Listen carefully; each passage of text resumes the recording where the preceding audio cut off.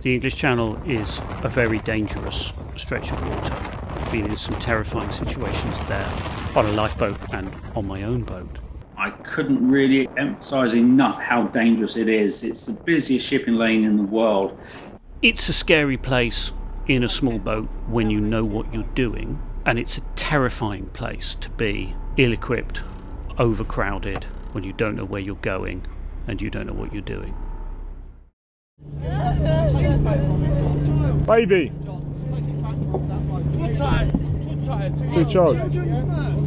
Okay, okay. That won't hold. Children. That might be alright. Okay, watch your hands. Watch. Whoa. Children first. No. Slack out. Don't. Don't touch. Don't touch. No. No. No. no. We do not judge what we're doing. We're there to save lives. We're there to help people in distress. And I think when you have witnessed that distress firsthand, it then makes you realise that you are doing the right thing.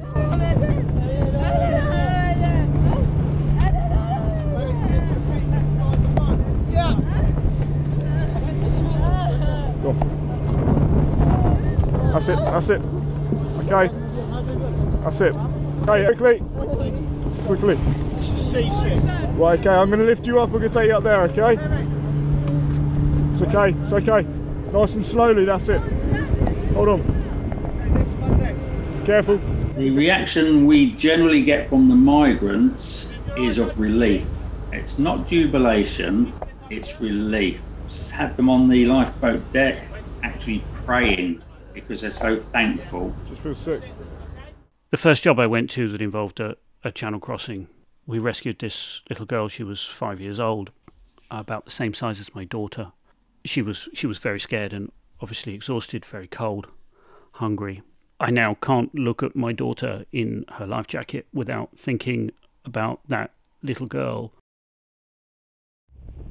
Saving lives at sea is what the RNLI is here to do, and we will continue doing it. If we didn't go out to the migrant boats, would there be fatalities? Yes, there would, without a doubt. Whole families have drowned in the channel trying to make it from France to England. It's an incredibly dangerous stretch of water. And if the RNLI was not rescuing people who have made unsuccessful crossings, then many, many more people would have drowned. That's it, yeah. Guard her down.